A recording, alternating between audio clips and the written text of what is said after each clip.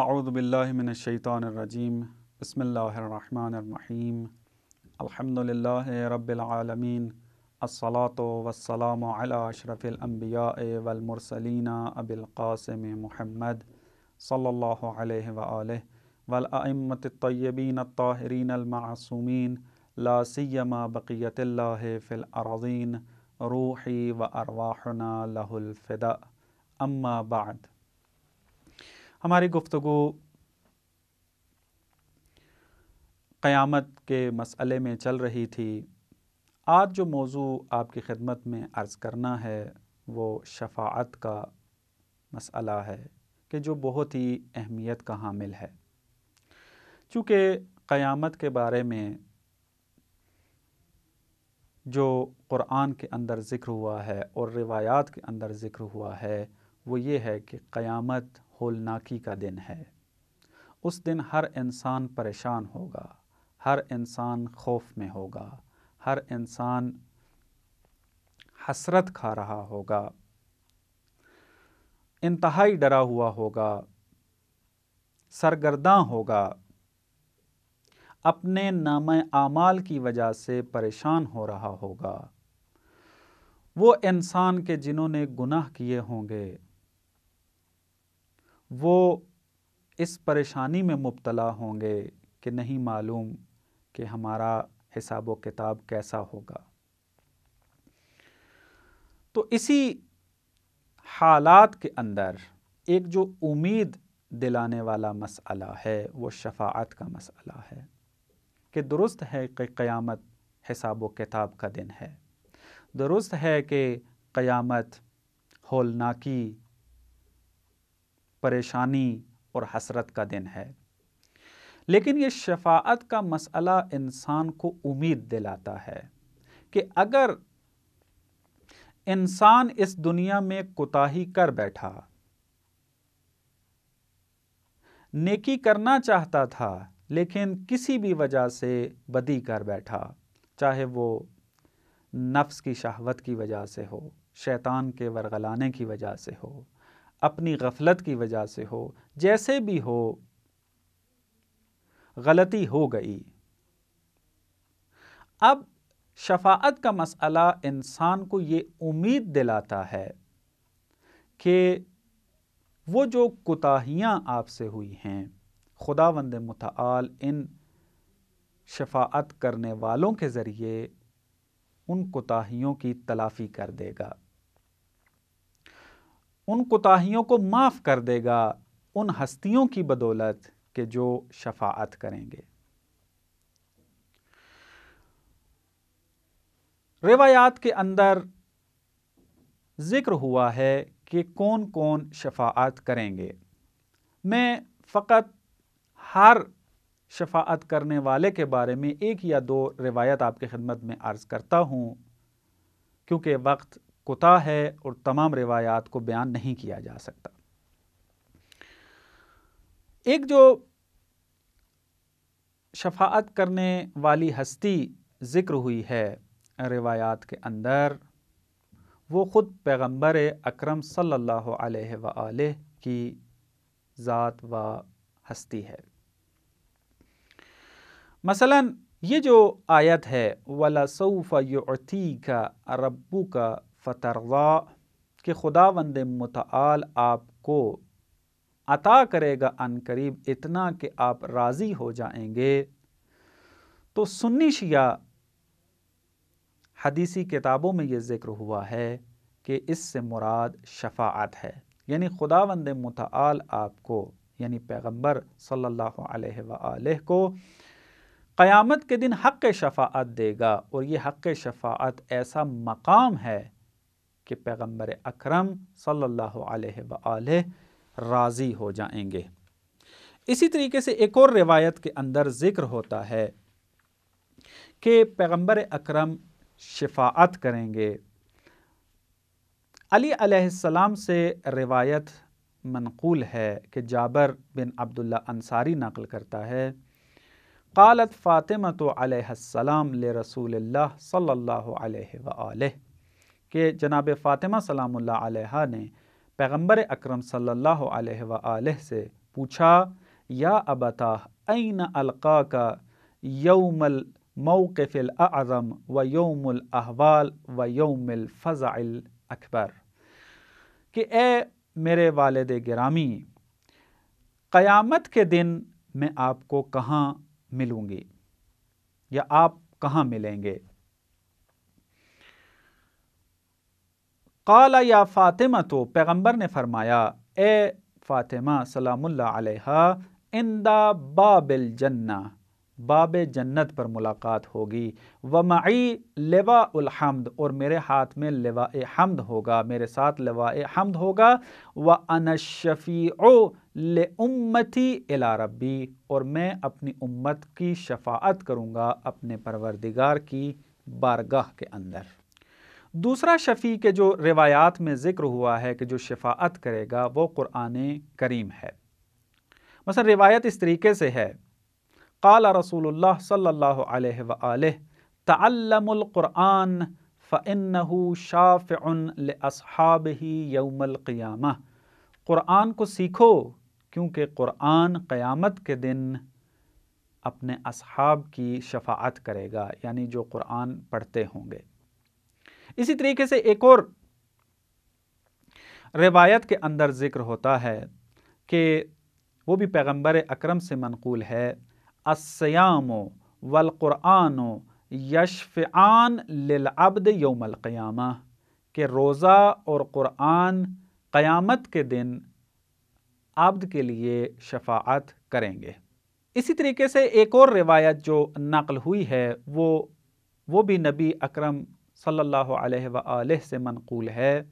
وہ یہ کہ اشفعاء خمستن، کہ شفیع پانچ ہیں، القرآن، ان میں سے ایک قرآن ہے۔ الرحم والامانہ و نبیکم و اہل بیت نبیکم۔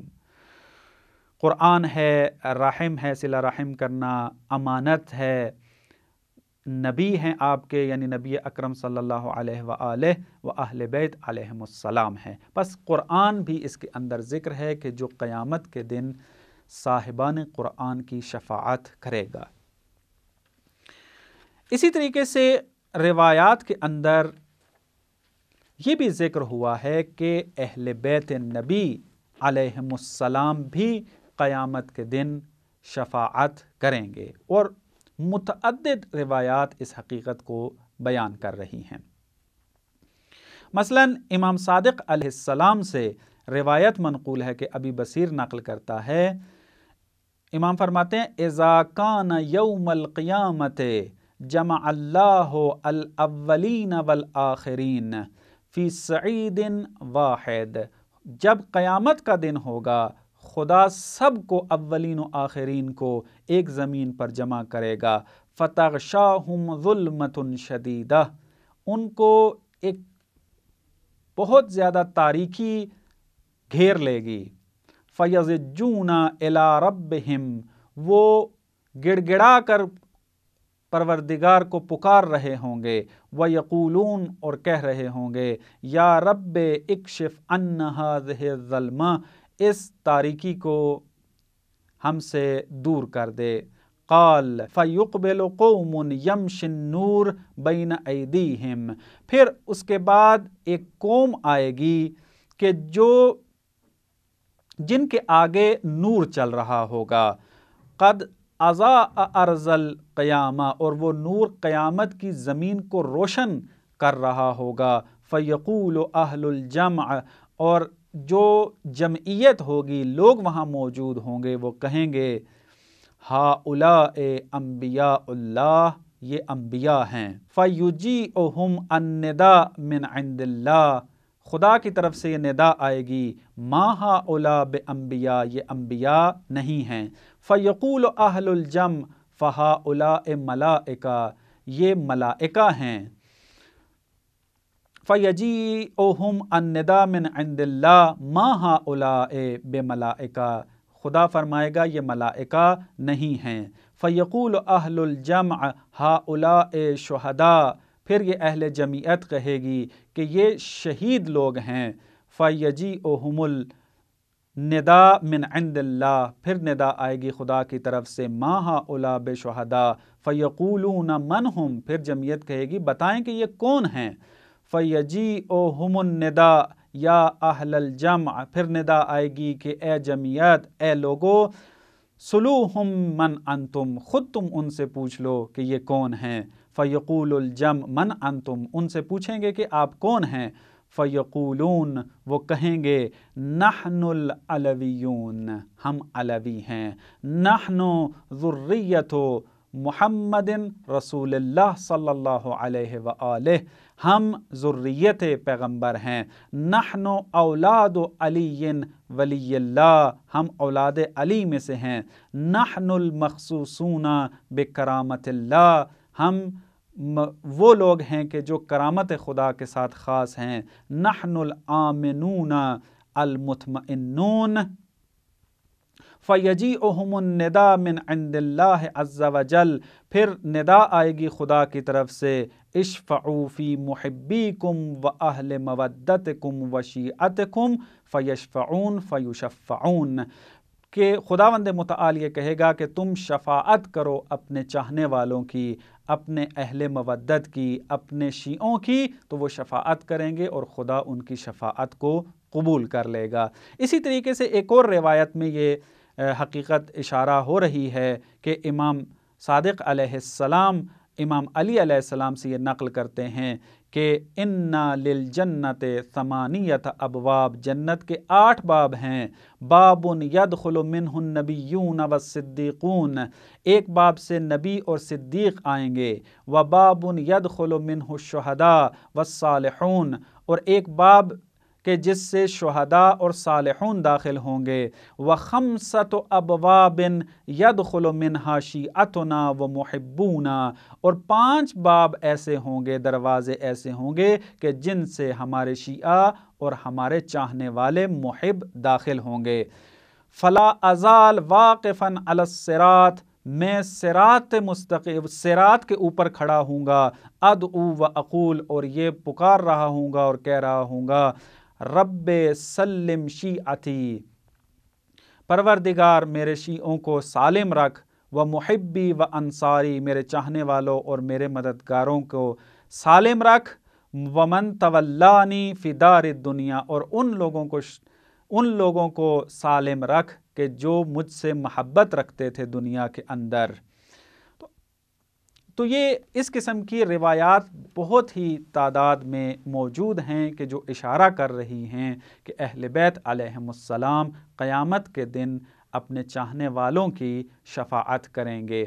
اور یہ بھی مطلب آپ کے ذہن میں رہے، یہ ایک تفصیلی گفتگو ہے کہ کہیں اور اس کو حتمند ذکر ہونا چاہیے اور کریں گے انشاءاللہ کہ حقیقت شفاعت کیا ہے۔ ایسا نہیں ہے کہ ان روایات کو پڑھنے کے بعد انسان یہ تصور کرے کہ چونکہ آئمہ نے ہماری شفاعت کرنی ہے اور وہ شفاعت بھی گناہ گاروں کی کی جائے گی، تو ہم گناہ کر لیں تو آئمہ ہماری شفاعت کر دیں گے۔ نہ، ایسا نہیں ہے، بلکہ شفاعت کے کچھ شرائط ہیں۔ اگر وہ شرائط موجود ہوئے تو یہ ہستیاں شفاعت کریں گی۔ اور اگر وہ شرائط موجود نہ ہوئے تو وہ ہستیاں شفاعت نہیں کریں گی۔ خدا وند متعال سے دعا گو ہیں کہ خدا وند متعال قیامت کے دن ہم جیسے گناہ گاروں کو بھی ان ہستیوں کی شفاعت نصیب فرما۔ والسلام علیکم ورحمۃ اللہ وبرکاتہ۔